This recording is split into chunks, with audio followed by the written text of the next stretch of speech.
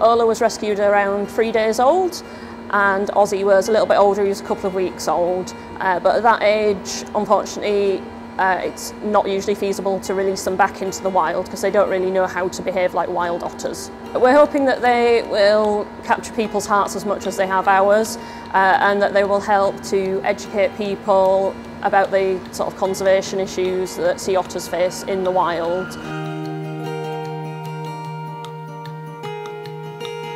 The actual transport logistics were incredibly complex and it involved planes, trains, automobiles, everything. It started off in Alaska um, with a small private plane, a little Cessna which flew them up from the site to the main international airport where they get seen by a vet and signed off onto a luxury private jet which flew directly to Heathrow, which was eight hours, and then we, we had the road transport to here which involved a police escort to get us through the traffic. One of the requirements was they're transported from their original pool to this destination pool in under 18 hours which to get them four and a half thousand miles is a global effort and it was incredible. We did it in 17 hours and, and they arrived in, in great condition, so we're really pleased. The world's oceans are in trouble and we need people to support, which is the whole point of us doing this, is that we, we want guests to come here, engage with these incredible animals and then help us to help them and support them in the wild. I've never worked with animals that are quite like sea otters. They have so much personality, so much character, and they're just really engaged. They're incredible to work with.